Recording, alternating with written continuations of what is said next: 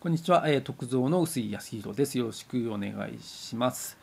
えー、2013年の12月の10日から14日までのライブをまとめてご紹介いたします。よろしくお願いします。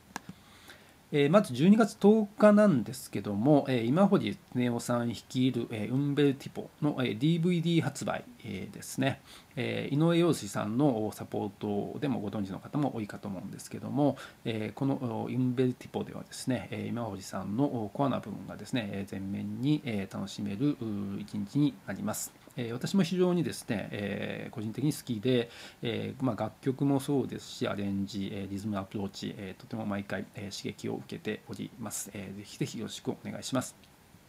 翌11日なんですけれども、えー、アンダーグラウンドシーンの大ベテラン、えー、山本誠一さんがですね、えー、私とデュオをやります、えー、それぞれのソロを、えーまあ、コアな部分をですねえー、ソロで、出して、その後に最後に一緒にやるというですね、企画になります、ワッキーオーケストラというですね脇田さんのやっている、えイベントの3回目になります。よろしくお願いします。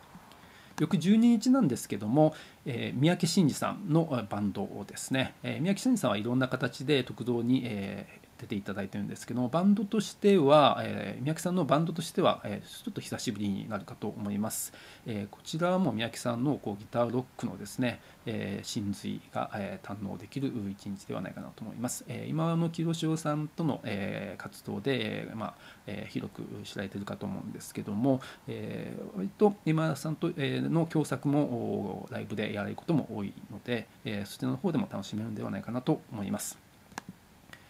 12月14日なんですけども Acid Mothers Temple ですね、えー、河端一さん率いる、えー、日本代表するサイケロックバンドですね、えー、ヨーロッパアメリカではですね絶大な人気を得ております、えー、今回はですねシークレットゲストということで、えー、直前まで発表されてなかったんですが、え初代のボーカリストコットンさんが、え参加することに、えが発表されました。で、えーと、 Acid Mothers の方で、えホームページの方から予約していただくと特典がいただけるそうですので、えもしあの特典もですね、えが欲しいという方は Acid Mothers Temple の方で予約されることをお勧めいたします。このライブはですね途中にオークションがあったりとか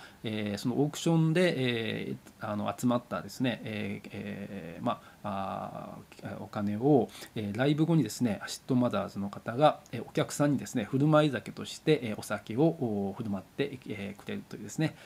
ものもありますのでそちらも楽しんでいただければと思います。忘年会の感じですね。ぜひよろしくお願いします。ありがとうございました。